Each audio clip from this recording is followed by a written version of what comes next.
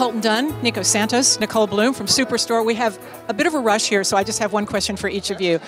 What can we expect that's different and surprising, and why should we watch each of you this season on Superstore, which we love? Well, you got to check out what happens to the characters this season. We're going to dive really deep into all the characters' personal lives. I will go on a little bit of a dating spree this season. Ooh, okay, enough said. Well, for Mateo, Mateo finds out that he's not a citizen, so there's that storyline that we have to explore. He also is getting a love interest this season as well, so a lot of fans have been asking about that, and uh, you have to wait and see. We will. And Cheyenne's growing up quite a bit. I mean, she's going to be a mother. She is a mother now, so she's going to be counting on her coworkers to help her raise her kid in the best way possible. Well said. Thank you. You can move on, and thanks for stopping here. so much. Thank you. Don't miss Superstore. Back again on September 22nd on NBC. I'm Stephanie Stephens.